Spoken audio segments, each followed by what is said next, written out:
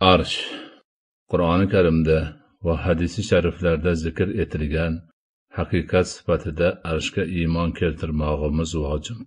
Uning haqida faqat oyat va hadislarda zikr qilingan narsadan nariga o'tmaganimiz yaxshi.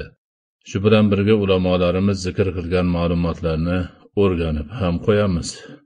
Aqoid ilmi ulamolari keltirishlaricha oyat va hadislarda kelgan vasflarga binoan arsh oyoqlari bor taxt bo'lib uni farishtalar ko'tarib turadi u xuddi olam ustidagi qubbaga o'xshaydi u maxluqotlarning shiftidir alloh taoloning arshga ehtiyoji yo'q balki uni o'zi bilgan hikmat uchun yaratgandir alloh taolo arob surasida quyidagilarni aytadi أعوذ بالله من الشيطان الرجيم بسم الله الرحمن الرحيم.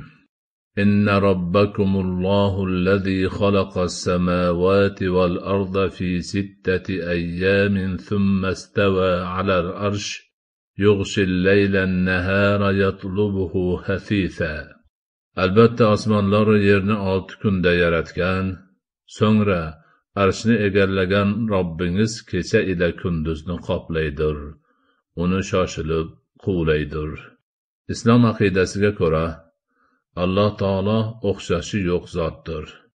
Zotining sifatining amallarining ham monandi yo'q.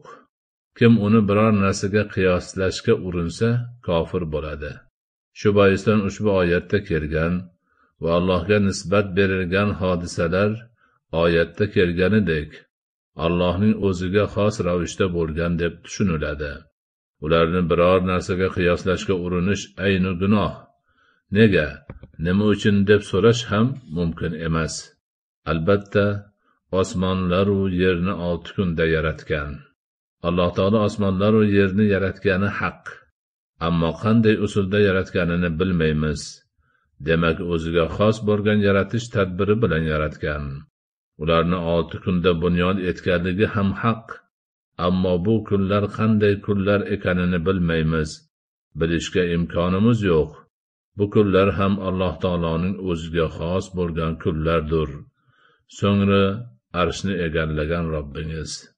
Alloh taolo arshni egallagani ham haq. Ammo qanday nechuk egallash ekanini bilmaymiz. Bu haqda so'rab surishtirmaymiz ham. O'tgan salafi solihlarimiz bunday masalalarni qo'zg'aganlarni bid'atchi buzg'unchi fitnakash deb ataganlar va ba'zilarini jazolashga hukm qilganlar. Qur'oni karimda shu ma'noda bir qancha oyat karimalar kelishi e'tiboridan ushbu jumla haqida har bir musulmon bilishi lozim bo'lgan ba'zi ma'lumotlarni keltirish maqsadga muvofiqdir. Avvalo arsh haqidagi ba'zi ma'lumotlarni aqoid kitoblarimizning eng mo'tabarlaridan hisoblanmiz sharhi aqidatu tahoviya kitobidan bilib olaylik.